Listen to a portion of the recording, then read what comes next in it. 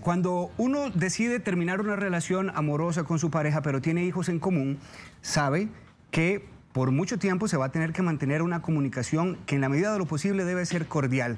A esta relación se le llama como coparental. Pero aquí hay una pregunta que es clave para todas las personas que eh, han incurrido en un divorcio, pero tienen hijos en común. ¿Cómo lograr ser socios en la crianza de nuestros hijos de una manera, como le explico, cordial? La terapeuta Catalina Cárdenas está con nosotros para poder hablarnos en esta entrevista y darnos recomendaciones para lograr mantener una relación de una manera mucho más sociable y mucho más cercana con quien fue en algún momento nuestro cónyuge. Si usted tiene alguna consulta que realizar, el Facebook de Buen Día está a su disposición y también la línea de WhatsApp para que usted nos deje su comentario, 6087-7777. Catalina, bienvenida, muchas gracias por ayudarnos con este tema que me parece cada vez es más frecuente. En 2010 cerca de 141 mil personas se habían divorciado, pero en 2019 nos topamos con una cifra de 200 mil personas. Así es. La tasa creció de 7% a 12%. Estamos frente a una realidad que es ineludible, innegable. es innegable y si bien es cierto, no existe una verdad absoluta, quisiera que usted comenzara explicándonos en esta situación en la que estamos y por qué es importante comenzar a mantener una cordialidad con mi expareja. Claro, Omar. Bueno, un saludo para todos los que nos acompañan hoy. Yo creo que es muy importante lo que mencionas, el incremento de los divorcios que estamos viendo. Eh, pero también de cara a la crisis de la pandemia, también hay un tema en donde por lo menos vimos que en España se dispararon también los divorcios, todavía se incrementaron aún más. Inclusive vieras qué curioso, eh, hicieron unas furgonetas que se llaman divorcioneta y andan eh, eh, notarios registrando, abogados registrando divorcios en la divorcioneta, que es una furgoneta que va a cada casa y tramita la parte de los divorcios. Nosotros esperamos que en Costa Rica eh, pues no se disparen de esta forma eh, debido a la pandemia, pero muchas veces es innegable que la mejor decisión que se puede tomar porque ya hay un deterioro en la relación y ya no hay vuelta atrás muchas veces es esta la solución. No decimos que siempre, ¿verdad? Para eso existe precisamente la terapia, la forma de buscar ayuda, tratemos de salvar la relación, pero cuando ya no hay nada que hacer y esto es lo que toca, entonces si tenemos hijos viene el gran reto. Yo siempre digo, Mar, cuando uno se separa de alguien y se divorcia, ¿es mi qué? Mi ex pareja. Yo me divorcié, ¿verdad? Es mi ex pareja. ¿Cómo se dice que soy el ex papá o la ex mamá? Ni siquiera existe una palabra, Omar. Porque no, no, ¿Por qué no existe una palabra? Porque no es debido el abandono. Porque precisamente nosotros, si rompimos nuestra relación de pareja porque era lo mejor, porque era inevitable, o de repente porque fui abandonado o abandonada, que también es muy duro, ¿verdad? Que no fue una decisión conjunta, sino fue una noticia que me llega de forma pasiva y me sorprende o me hace mucho daño. Igual, indistintamente, si tenemos hijos, hay una parte de esta relación como padres que no se acaba, que es la relación parental o relación coparental. Entonces dejamos de ser pareja, pero no dejamos de ser papá y mamá. Y yo creo que la gran, eh, el gran planteamiento que, que se hacen las parejas que han atravesado un divorcio es cómo poder enfrentar el divorcio sin generar un impacto grave en los hijos, que al final, diría yo, son la parte más importante de todo el proceso. Es que fíjate, Omar, que cuando un niño, los papás, se, una niña, adolescente, los papás se separan, le afecta la decisión directamente, ¿verdad? Aunque sea lo mejor. Supongamos que es esos casos donde es lo mejor ya tomar esta decisión.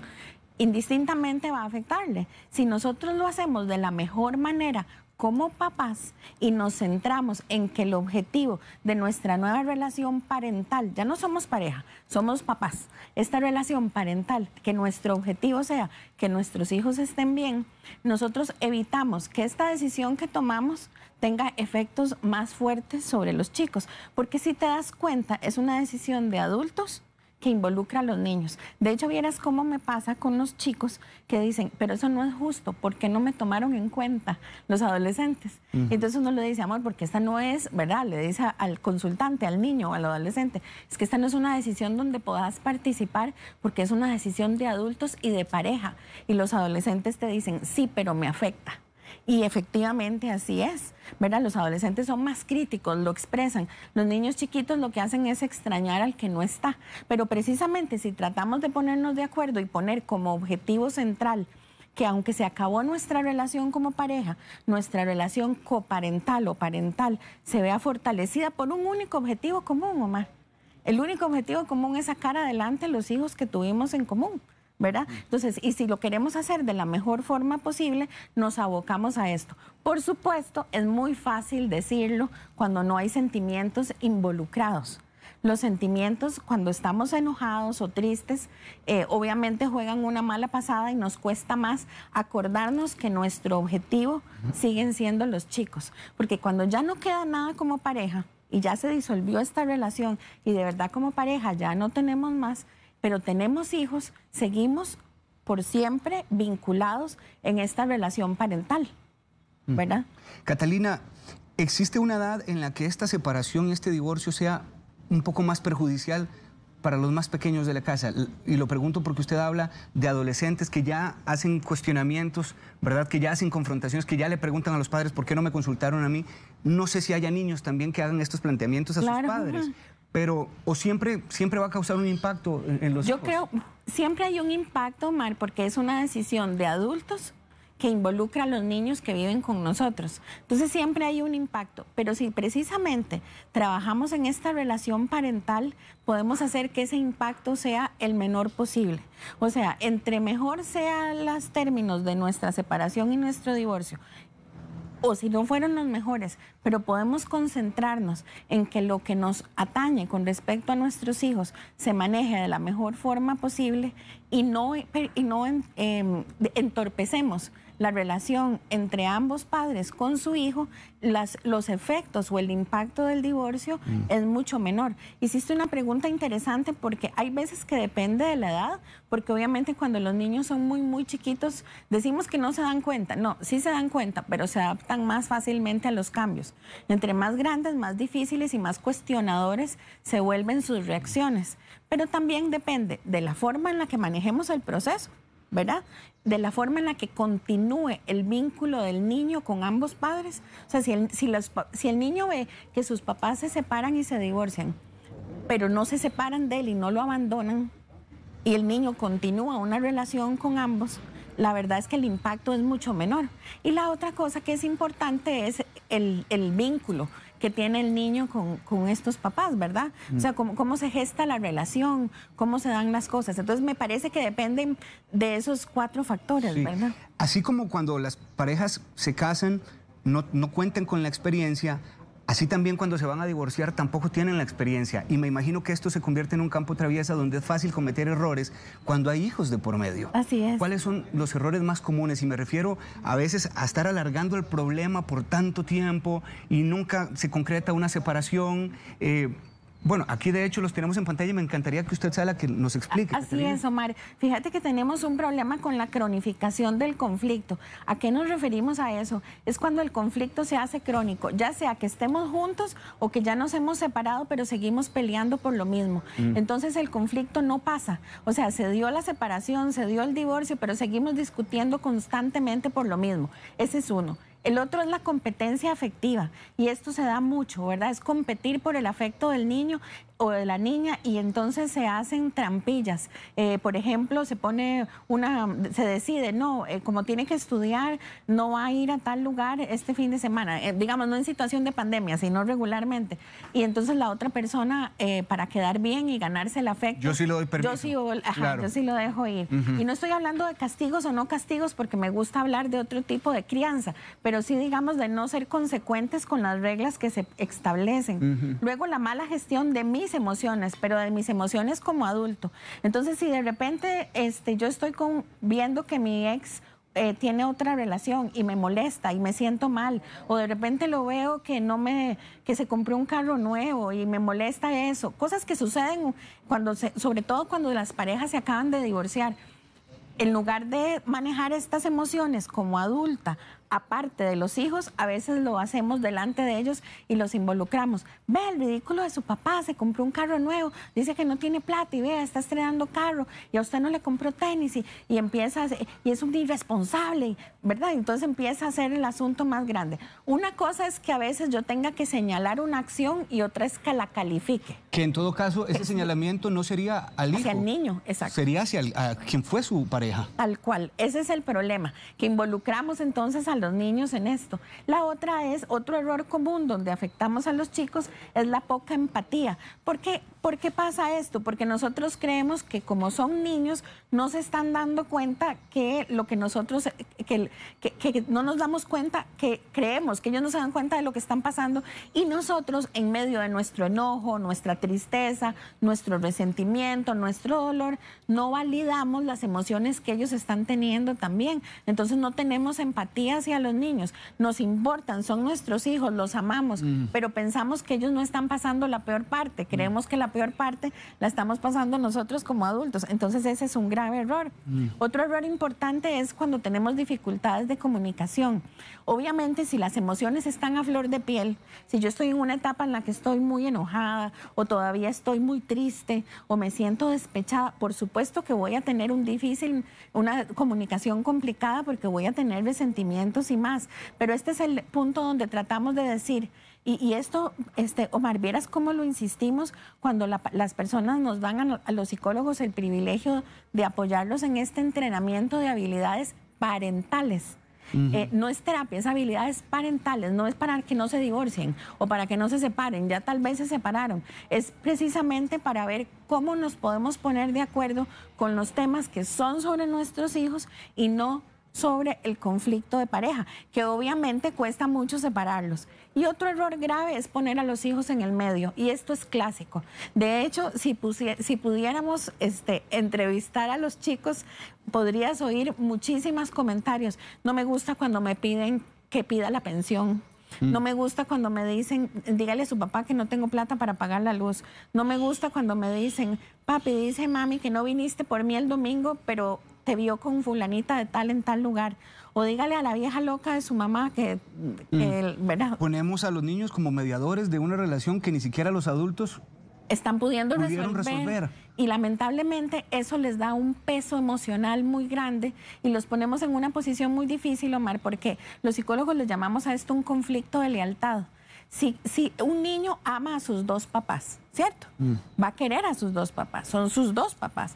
Entonces, si yo le digo, eh, anda a decirle a tu papá que es un cochino, que no ha depositado, o anda a decirle a tu mamá que es una vieja bruja, que se gastó la plata, que le dejen otra cosa, el niño se va en un gran conflicto de que va a lastimar a uno o va a lastimar al otro. O simplemente el hecho de que tal vez no se ofendan, tal vez tengamos la posibilidad de estar en un momento en el que la gente no se encuentra tan lastimada y no se hace tanto daño, pero igual al ponerle al niño una responsabilidad así, lo estamos distrayendo de las cosas de las que un niño debe ocuparse, mm. de su propio proceso, y le estamos poniendo una tarea de adultos que, como bien señalaste ahorita, ni siquiera los mismos adultos están resolviendo, ¿verdad? A veces incurrir en la palabra o en la pregunta al niño, eh, ¿qué opinas vos de esto que, hizo tu papá? ¿Qué opinas vos de esto mm. que hizo tu mamá? Le estamos confiriendo a él un papel de juez que no le corresponde, tal vez porque queremos... Eh, ganar un espacio en él preferencial que no lo tiene la expareja. este es otro de los errores más comunes. Por supuesto, Mar. Fíjate que esa búsqueda de que esté de mi lado, ¿verdad? De que quiero oír cuál es tu juicio y te necesito que me apruebes, y pero ayúdeme con su papá o ayúdeme con su mamá, o cuando están discutiendo, pregúntele y verá lo que... Y obviamente eso se vuelve un conflicto para el niño también gravísimo, ¿verdad? 9 con 22 minutos de la mañana, Catalina Cárdenas viene a hablarnos acerca de cómo lograr ser buenos socios en la crianza de nuestros hijos después de enfrentar un divorcio. Ya hablamos de los errores, competencia afectiva, mala gestión de emociones, poca empatía. La gran pregunta es cómo bajar ese nivel de conflicto para poder realmente ser socios, al final para perseguir una sola meta, el amor por nuestros hijos. Catalina lo responde después de la pausa. Ya venimos. Muchas gracias, Thais. Estamos hablando con Catalina Cárdenas sobre ¿Cómo poder lograr ser socios después de un divorcio? Y la gran pregunta aquí es, si no funcionamos como pareja, ¿qué nos garantiza que vayamos a funcionar como padres? Si nos llevamos, y perdónenme la expresión, como perros y gatos en un matrimonio, ¿esto va a ser también el espejo de lo que sucederá después del divorcio? Catalina, esa es una pregunta que implica un gran desafío para usted como terapeuta.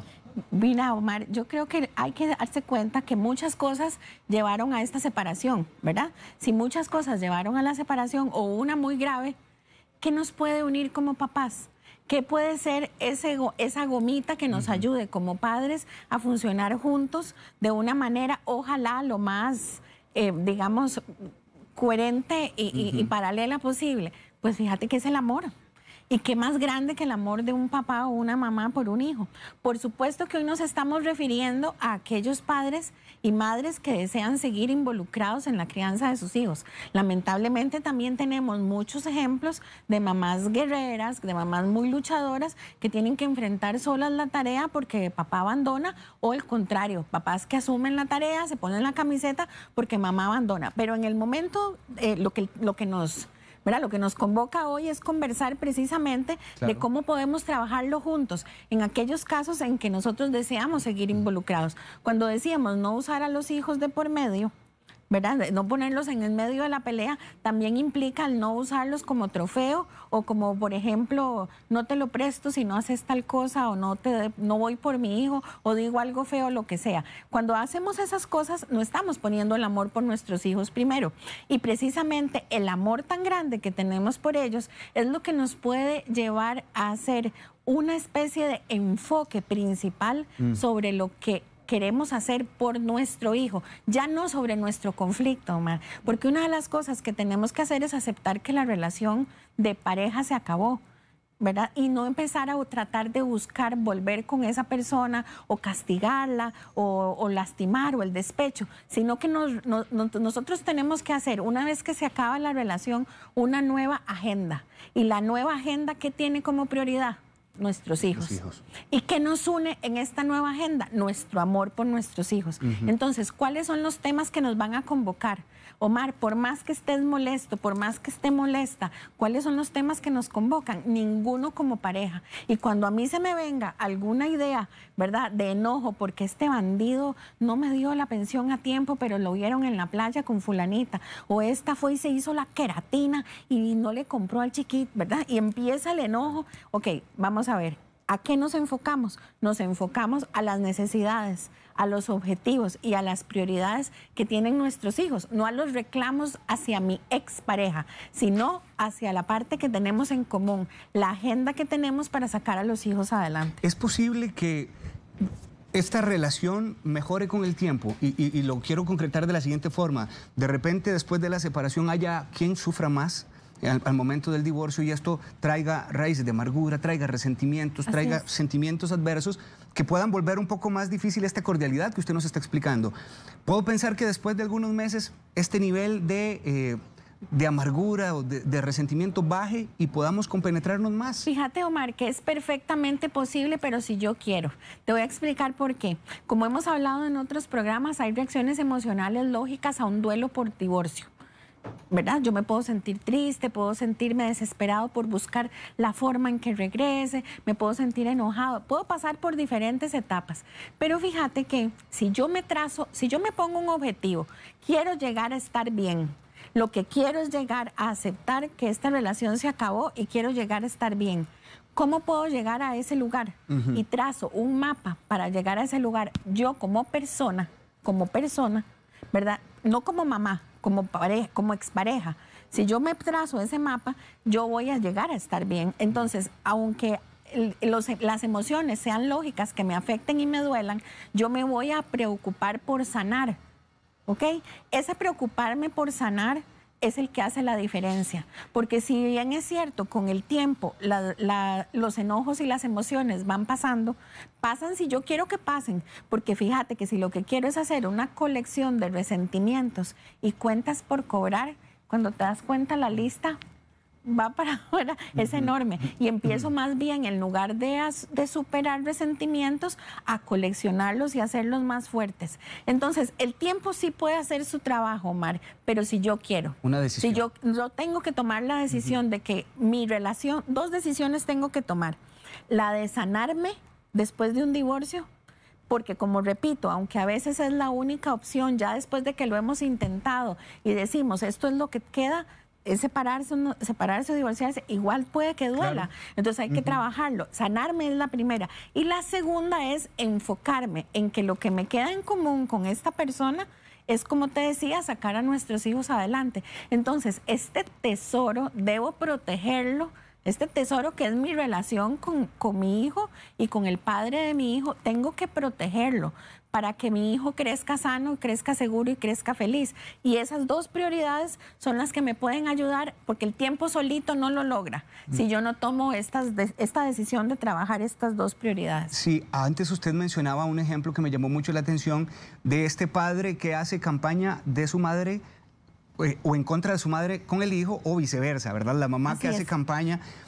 ¿Qué hacer? De manera concreta, Catalina, cuando ese tipo de sentimientos entran en alguna de las de, quien fue pareja y de repente lo que quiere hacer es atacar a la expareja diciéndole cosas al hijo o a la hija, haciendo una, una, campaña en contra. Fíjate, Omar, que a mí me gusta mucho poner este ejemplo. El hijo tiene su propia personalidad, ¿verdad? Cada niño tiene su propia personalidad, pero hay partes de ese niño que se relacionan con papá y hay partes de ese niño que se relacionan con mamá.